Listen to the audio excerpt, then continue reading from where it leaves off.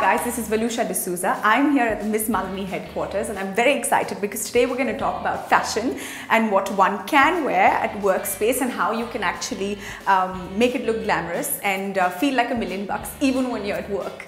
Uh, so let's get started.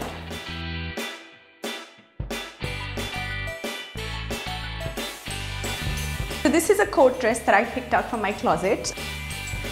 This is a designer friend of mine called Nimish. I think this is perfect because of the fabric at the same time because we live in a country where it's hot half the time of the year, in fact most of the year. So although it gives this effect of a coat dress and it's really very smart because it's got pockets which I really like.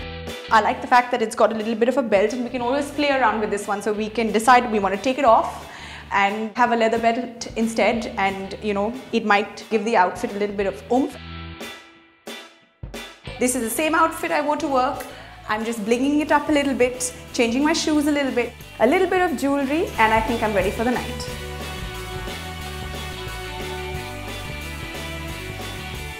This is another look that I have picked out.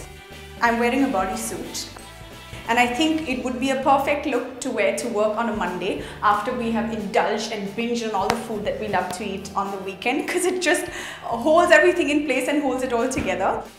Again, I like the fact that it has pockets so if we're working, we can always like throw things in here. Very light, very comfortable for the workspace. We're wearing flats with these again.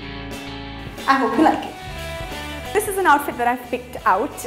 Again, it's not very me because I like to wear things that are maybe a little more fitted. So I am experimenting with this look here, not in my comfort zone, but at the same time, I'm going to stick to my color, which is black.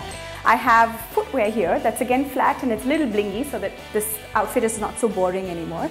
A little bit of jewelry and I think this is an outfit that's perfect if you have to do a lot of running around. Try it out. We're finishing strong with my favorite, the all black look. This is something I picked from my closet. I like the jacket. I like the fact that it's got a bit of leather here. And instead of wearing it like a boring jacket, which would normally be worn like this to workspace, if we just do this with the jacket. Of style right there. Black tights and black heels. And I think this is a piece that you should leave in your closet hanging and just waiting for a day when you really don't know what to wear to work. So then your all black classic look, I promise you, you will feel like a million bucks and you're going to be fab at work.